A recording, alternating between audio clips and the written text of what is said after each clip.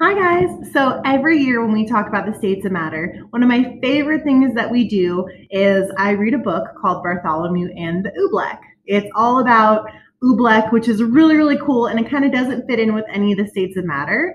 So, right now, if you have younger brothers and sisters, feel free to pause the video and uh, go get in some comfy jammies, crawl into bed, get really nice and cozy, and let me read you a story.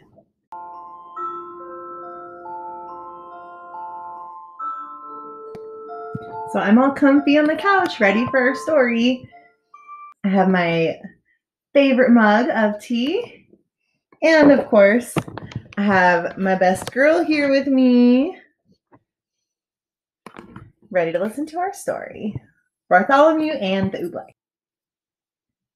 Bartholomew and the Oobleck by Dr. Seuss.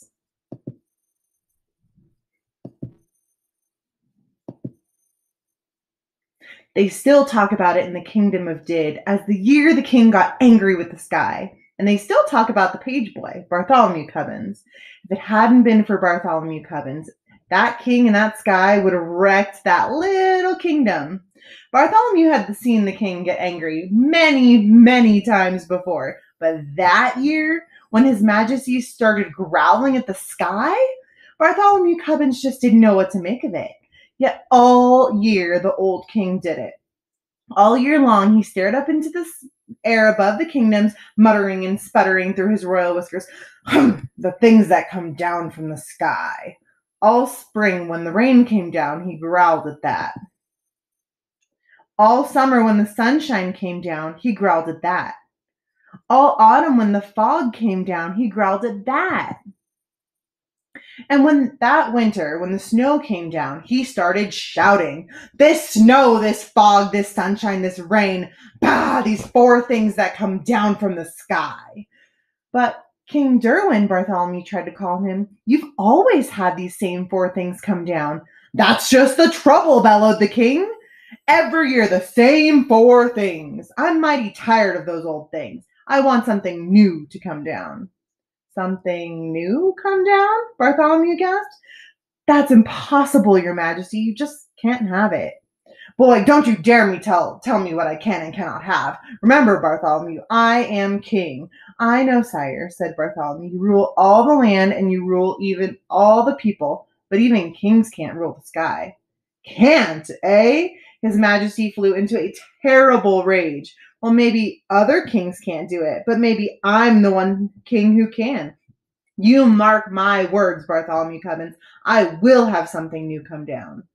But how to get something new to come down? That was rather hard to think up.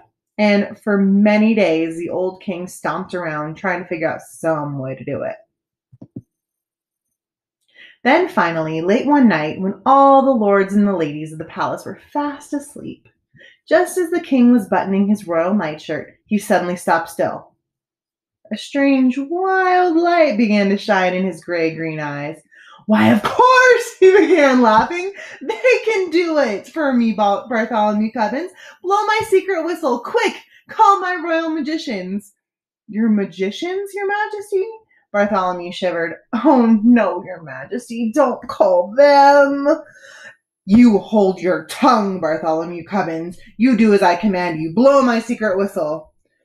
Yes, sire, Bartholomew bowed. But, your majesty, I still think you may be very sorry. He took the king's secret whistle from its secret hook. He blew a long, low blast down the king's back secret stairway, and a moment later he heard them coming. Up from their musty hole beneath the dungeon, up the empty midnight tunnel to the royal bedchamber tower came the magicians on their padded, shuffling feet. Up and right into the room they came chanting, Shuffle, duffle, muzzle, muff, Bisto, wisdom, mysticuff. We are men of groans and bowls, mystic men who eat boiled owls. Tell us what you wish, O king. Our magic can do anything. I wish, spoke the king, to have you make something fall from the skies that no other kingdom has ever had before. What can you do? What will you make? For a moment they stood thinking, blinking their creaky eyes. Then they spoke a word. One word. Oobleck. Oobleck? said the king. What will it look like? Won't look like rain, won't look like snow, won't look like fog. That's all we know. We can't just tell you anymore. We've never made Oobleck before. They bowed and they started towards the door. We go now to our secret cave in Mystic Mountain Neeka-Tave. There all night long we'll work for you, and you'll have Oobleck when we're through. They'll do something crazy, whispered Bartholomew. Call them back, your majesty. Stop them. Stop them? Not for a ton of diamonds, chuckled the king. Why, I'll be the mightiest man that's ever lived. Just think of it. Tomorrow, I'm going to have Oobleck. It took Bartholomew a long time to get the excited king to sleep that night. But that night, there was no sleep for Bartholomew, the page boy. All night long, he stood at the king's window, staring out the mystic mountain Neeka-Tave. Somewhere up there, Bartholomew knew the magicians were working their terrible magic. All night, the magicians did. All night, they walked circles round their magic fire making magic mumbling with their clucking tongues. Oh, snow and rain are not enough. Oh, we must make some brand new stuff. So feed the fire with wet moose hair. Burn an onion. Burn a share. Burn a whisker from your chin and burn a long sour lizard skin. Burn yellow twigs and burn red rust and burn a stocking full of dust. Make magic smoke green, thick, and hot. It sure smells dreadful, does it not? That means the smoke is just now right. So quick, before the day gets light, go magic smoke, go high, go high, go rise into the kingdom sky. Go make the oobleck tumble down on every street in every town. Go make the wondrous oobleck fall. Bring down oobleck on us all. Dawn was just breaking, and Bartholomew was still standing, trembling, watching at the bedchamber window. But now, as the sun rose, Bartholomew smiled. The silly magicians hadn't done a thing! Then, suddenly, Bartholomew Cubbins stopped smiling.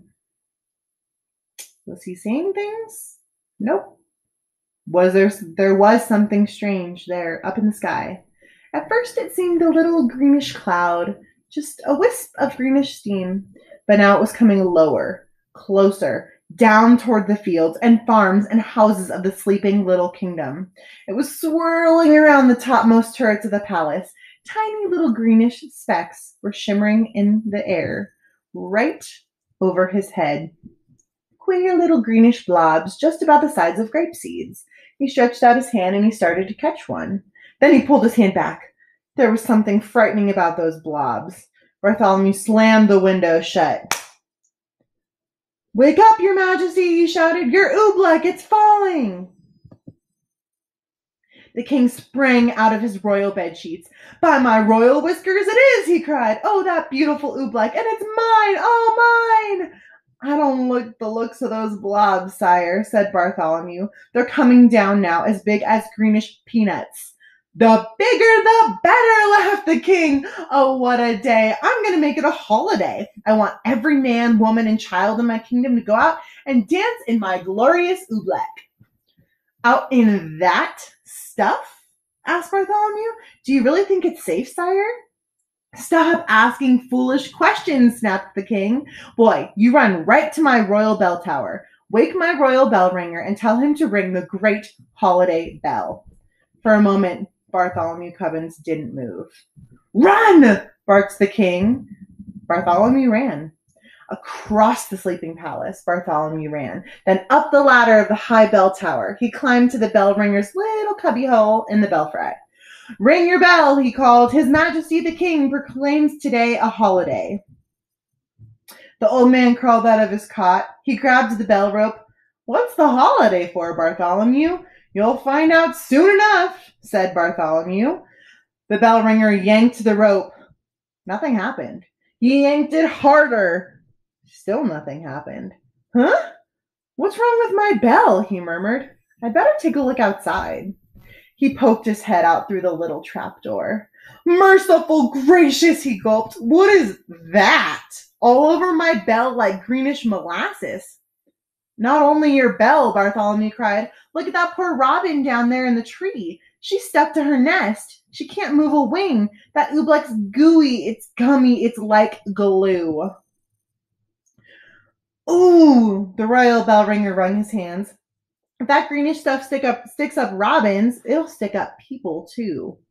Someone's got to warn the people, cried Bartholomew. Got to wake 'em up and warn 'em to stay inside their houses. I'll tell the royal trumpeter, he shouted. He turned and slid like lightning down the ta- down the bell tower ladder. To the trumpeter's tower raced Bartholomew Cubbins, and up the stairs, four stairs at a time. As he ran, he could hear the plop of the oobleck on the window panes. It was pelting against the palace wall now, as big as greenish cupcakes. He yanked the covers off the snoring trumpeter. He shoved the cold trumpet right into his sleepy hands. Get up, warn the people, blow the alarm. Oh, yawned the trumpeter. Then his eyes saw the oobleck.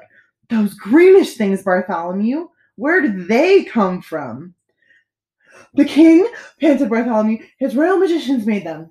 The royal trumpeter leapt from his bed. The king of ours should be ashamed. He jabbed the trumpet out of the window. He shouted the largest, the loudest alarm that's ever been heard in the kingdom of Didd. But all the royal trumpeter blew was a glug. My horn, he gulped. One of those green things flew inside it. He tried to blow it out, but couldn't blow it out. Tried to shake it out, couldn't shake it out. I'll get it somehow, he yelled. I'll pull it out. No, Bartholomew shouted. Don't you touch it. The trumpeter's hands was already in it. His fingers grabbed hold of the lump of oobleck. He could already feel it squiggle around in his fist like a slippery potato dumpling made of rubber. He pulled with all of his might. The oobleck began to stretch, then gloing. The oobleck snapped back inside the trumpet. He yanked his arm back with it right up to his elbow. I can't wiggle a finger, the trumpeter wailed. Oh, Bartholomew, what'll I do? I don't know, and I hate to leave you here stuck to your horn, but if you can't warn the people of the kingdom, I've got to find someone who can. Out of the room and down the stairs raced Bartholomew Cubbins, down to the chamber of the captain of the guards. The captain was humming in front of his mirror, combing the ends of his handsome mustache. Captain, do something, shouted Bartholomew. Do something. Why? smiled the captain. What's wrong? Captain, haven't you seen the dreadful oobleck? It's coming down now as big as greenish baseballs. Oh, that stuff, laughed the captain. What's so dreadful about that, lad? You know, I think it's rather pretty. Captain, pleaded Bartholomew, it's dangerous. Nonsense, snorted the captain. Lad, are you trying to frighten me? Captains, my boy, are afraid of nothing. That stuff's harmless. I'll show you. I'll eat some. Eat some, gasped Bartholomew. Oh no! But before Bartholomew could stop him, the captain was leaping, leaning out the window, scooping up some oobleck on the end of his sword. Don't, Captain, don't! The captain did. By the time Bartholomew dragged him back inside the room, his mouth was glued tight shut with oobleck. He tried to speak, but no words came out. All the noble captain of the guards could do was blow a lot of sticky greenish bubbles. Forgive me for leaving you, Captain, said Bartholomew, but a captain full of bubbles is no help at all. Bartholomew stretched the poor man out. He left him there on his chamber floor. Bartholomew went tearing through the zigzag palace hallways. I'll get the king's horse. I'll ride through the country. I'll warn the people of the kingdom myself. He pushed open the door that led out to the royal stables. Bartholomew stopped. He could go no further. The awful oobleck was plumping down as big as greenish footballs now. Too late to warn the people of the kingdom. There were farmers in the fields getting stuck to hoes and plows. Goats were getting stuck to ducks. Geese were getting stuck to cows. Outside the palace, it was piling up. Great greenish tons of oobleck, deeper and deeper on every roof in the land. There was nothing Bartholomew could do out there. Shaking his head sadly, he stepped back inside. But inside, a moment later, was just as bad as out. With an angry roar, the oobleck was suddenly hitting the palace harder.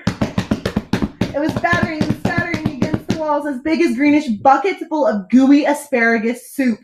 Like a sinking sailboat, the whole palace was springing leaks. The oobleck was ripping the windows right off their hinges. It was dripping through ceilings. It was rolling down the chimneys. It was coming in everywhere, even through the keyholes. From every bedroom in the palace came the howls of lords and ladies. Frightened in their nightgowns, they came jumping to their doors. Go back to your beds! Get under your blankets! Bartholomew Cubbins went crying through the halls, but nobody paid the slightest attention. Everyone in the palace started mashing, rushing madly about. The royal cook rushed down to the royal kitchen. Bartholomew Cubbins saw him trapped there, stuck to three stew pots, a teacup, and a cat. The royal laundress rushed outside to save her laundry. Bartholomew saw her stuck tight to the clothesline between two woolen stockings and the king's best Sunday blouse. He saw the royal fiddlers. They were stuck to their royal fiddles. Everywhere Bartholomew ran, he saw someone stuck to something. They were stuck up by the dozens. Every last friend he had in the world was flopping and floundering, all hopelessly caught in the goo. Then suddenly, amidst the hubbub, Bartholomew gasped, The king! He'd forgotten all about him. It was in the old throne room. I'm sorry, it was in the throne room that Bartholomew found him. There he sat, old King Derwin, proud and mighty ruler of the kingdom of Didd, trembling, shaking helpless as baby. His royal crown was stuck to his royal head. The seat of his royal pants was stuck to his royal throne. Oobleck was dripping from his royal eyebrows, was oozing out of his royal ears. Fetch my magicians, Bartholomew, he commanded. Make them say some magic words. Make them stop the Oobleck falling. Bartholomew shrugged his shoulders. I can't fetch them, your majesty. Their cave on Mountain Neeka-Tave is buried deep in Oobleck. Then I must think of some magic words, groaned the king. Oh, what are those things the magicians say? Shuffle, duffle, muzzle, muff. That's all I can remember. They don't do any good. The oobleck keeps falling harder. Bartholomew Cubbins couldn't hold his tongue any longer. And it's going to keep falling, he shouted, until your whole great marble palace tumbles down. So don't you waste your time saying some foolish magic words. You ought to be saying some very plain, simple words. Simple words? What do you mean, boy? I mean, said Bartholomew, this is all your fault. Now, the least you can do is say the simple words, I'm sorry. No one had ever talked to the king like this before. What? He bellowed, Me? Me say I'm sorry. Kings never say I'm sorry, and I am the mightiest king in all the world. Bartholomew looked the king square in the eye. You may be a mighty king, he said, but you're sitting in Oobleck up to your chin, and so is everyone else in your land. And if you won't even say you're sorry, you're no sort of a king at all. Bartholomew Cubbins turned his back, and he started for the throne room door. But then Bartholomew heard a great, deep sob. The old king was crying. Come back, Bartholomew Cubbins, you're right. It's all my fault, and I'm sorry. Oh, Bartholomew, I'm awfully, awfully sorry. In that moment, the king spoke those words, something happened. Maybe there was some magic in those simple words, I'm sorry. Maybe there was something magic in those simple words, it's all my fault. Maybe there was, and maybe there wasn't. But they say that as soon as the old king spoke them, the sun began to shine and fight its way through the storm. They say that the falling oobleck blobs grew smaller and smaller and smaller. They say that all the oobleck that was stuck on the people and all of the animals in the kingdom of Didd just simply, quietly melted away. And then, they say, Bartholomew took the king by the sleeve and led him up the steps of the high bell tower. He put the bell rope into his majesty's royal hand, and the king himself rang the holiday bell. Then the king proclaimed a brand new national holiday in honor of the four perfect things that fall down from the sky. The king now knew that these four old fashioned things the rain, the sunshine, the fog, and the snow were good enough for any king in the world, especially for him, old King Derwin of Didd. The end. Thanks for watching. I hope you enjoyed our story, um, and hopefully, we'll get to do this again soon. So, cheers and have a good night. Sleep well.